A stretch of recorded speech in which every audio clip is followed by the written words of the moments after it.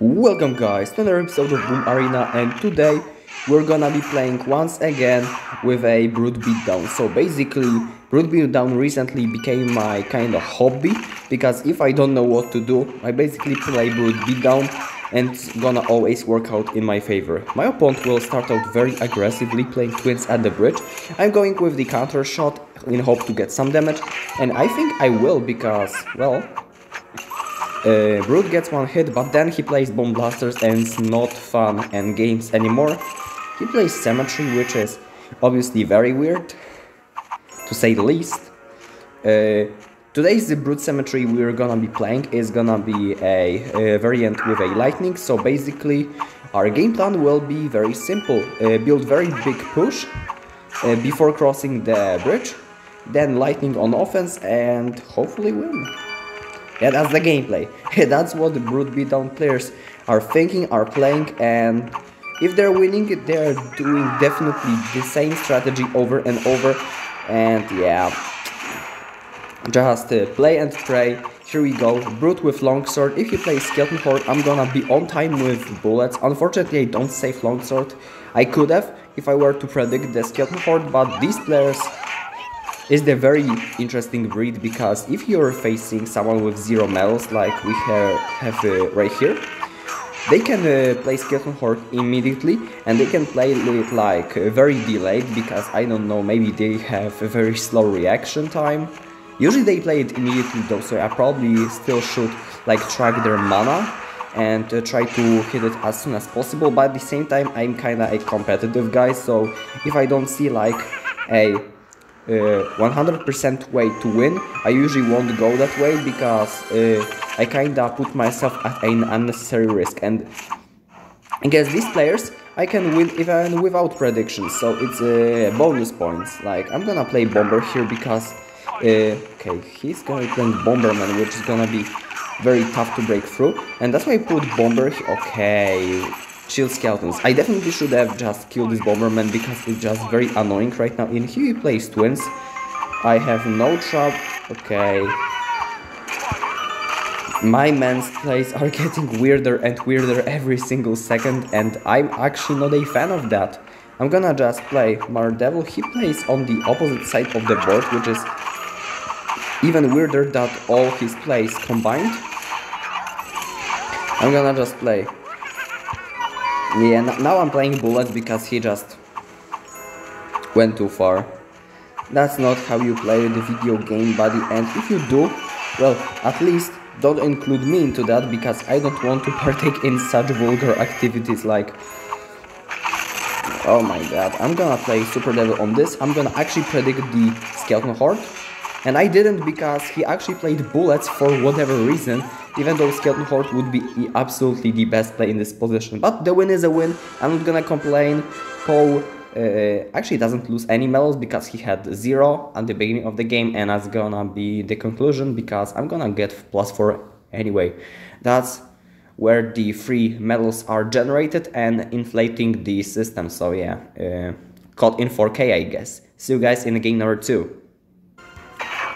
And the next opponent of today's video will be Alaon, who will be playing a Madness on his Steel Hammer, which I don't think is the best plan because I still have Longsword, but I don't have a good uh, a card against uh, his fifth, so that's gonna give him value. He plays Skeleton Horde and he plays a Cyclone to pull my Swordsman into it, which, not gonna lie, won't do crap. He played this Skeleton Horde uh, uh, to counter my longsword anyway, so it's not that big of a deal for me. And uh, yeah, I was only forced to play. Uh, I mean, th that was good trades all around, that's what I meant to say. I'm gonna play longsword actually against this uh, uh, bomber, fifth, and I'm gonna support it with bomber to just create some kind of pressure. He actually had to spend Skeleton Horde on the left side, so our right side will absolutely cook. These devils are on the tower and they're not letting go until they're gonna be just uh, killed, probably by bullets. That's my prediction. And in the meantime, I'm gonna have a healthy Mother Devil which will spawn more devils, a Brute which is like on 1 HP and somehow survive till the end, and that's gonna be the game number 2. Very quick, game. Usually with this deck you can get away with very quick games sometimes and sometimes you will just be dragged into a 4 minute games against I guess like cycle players who defend very well. Like it depends but with this deck very often you just get like very quick 1 minute 2 minute wins and uh, jump to the next game. So yeah. Uh, we're gonna take the win and jump to the next game as I've previously said.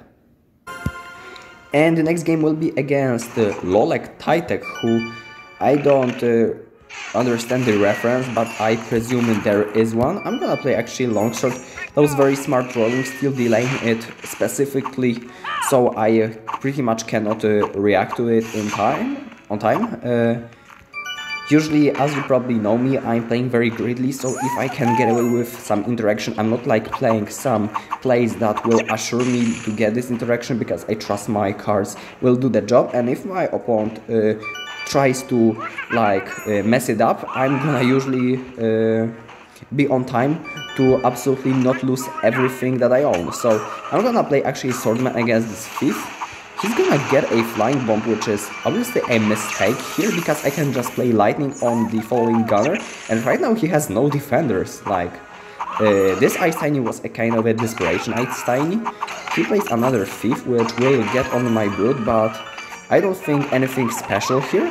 I'm gonna get my uh, Long Sword behind the Mother Devil, very sad that my old devils die, but at the same time Longsword is dealing a lot of damage and I think my opponent will just give up right here. So yeah, that's gonna be the game. Let's jump to the next one. I At this point I don't think I'll have to like count games. I'm gonna just drag this video to a 15 minute mark. Not because of the ads, but because I usually keep the videos of that length. So yeah, let's jump to the next game. And we're against, well, a certified professional who specifies something illegal, I presume. He has zero medals, so pretty much an uh, Boom Arena amateur, however you uh, watch at it. M maybe he is a true beginner and doesn't know how to play the game, but if he knows uh, how to play the game, at least we know that he uh, wasn't playing a Boom Arena, at least on this account. So we're gonna actually go in. I'd love it to uh, get eliminated, but I think that's not gonna be the case. He actually gets away with a pretty darn good defense. I'm gonna give him nice play because this brute will get like one hit. Okay, one hit. Beautiful. I, I actually, uh, even though it's not good for me that my opponent is defending, I actually enjoyed to see his defense because it was it was very well executed.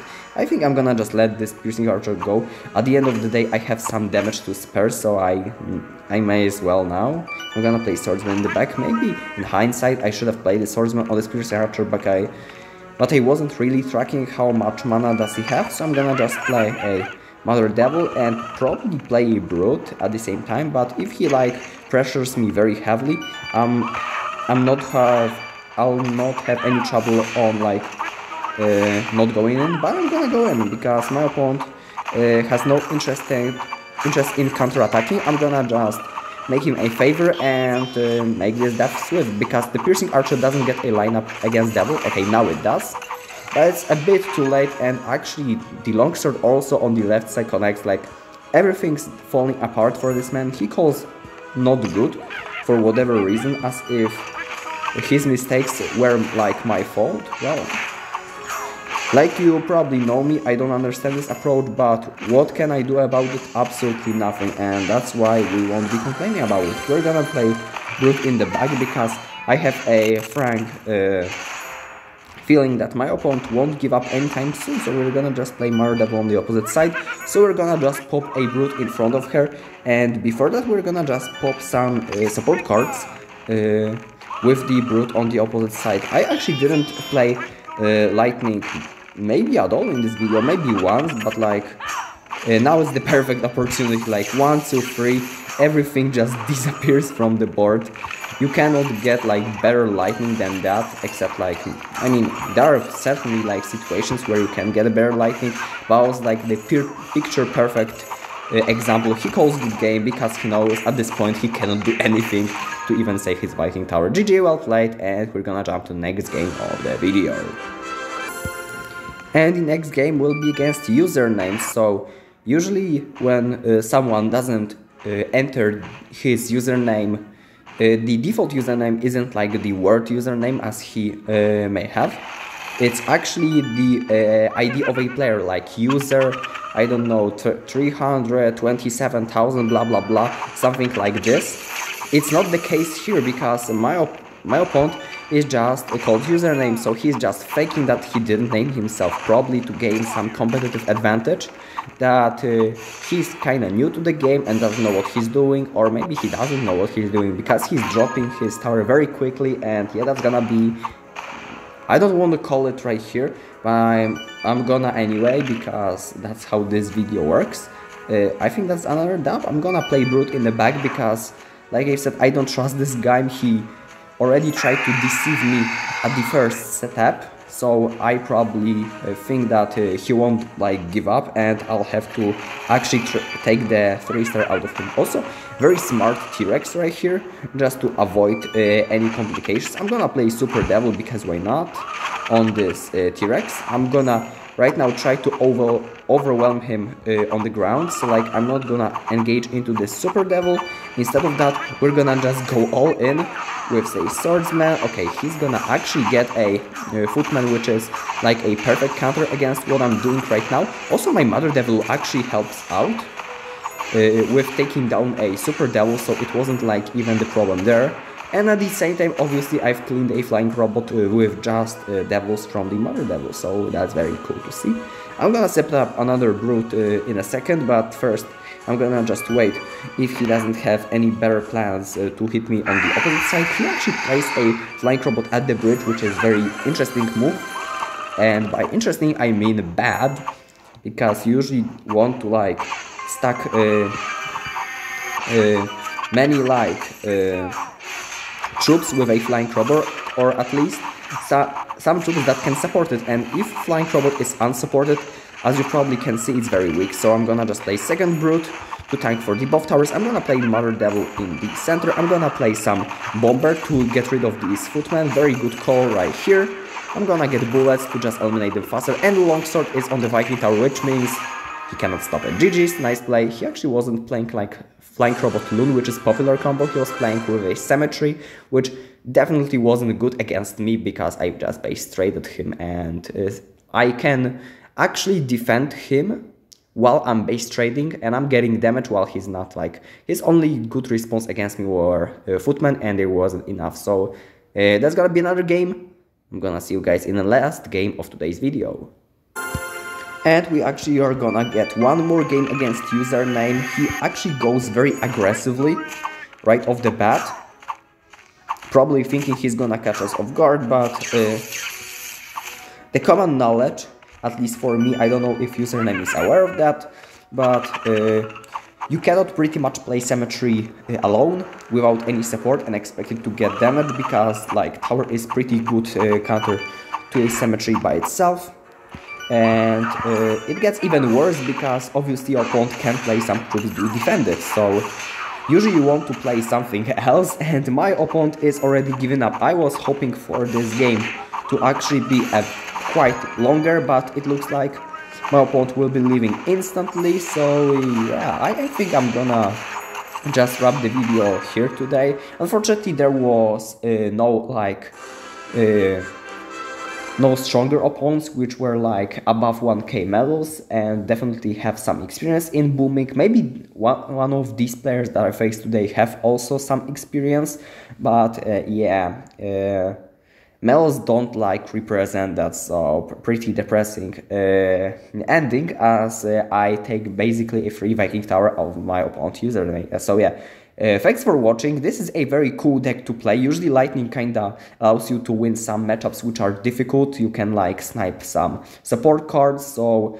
like I, I wasn't able to show it in this video, but I kind of feel like you can figure it out for yourself. Uh, otherwise, you just play Brute, you play support cards and you win most of the time. So yeah, thank you for watching and if you enjoyed this video, I once again, uh, I am inviting you uh, to subscribe to my channel if you aren't already because I'm posting Boom Arena content every single day and you definitely don't want to miss uh, out on my uploads. So yeah, thank you for watching. Make sure to subscribe if you enjoyed. I'm gonna see you guys in the next episode Boom Arena. Unfortunately, I'm not gonna hit 15 minutes, but like whatever. End of the video.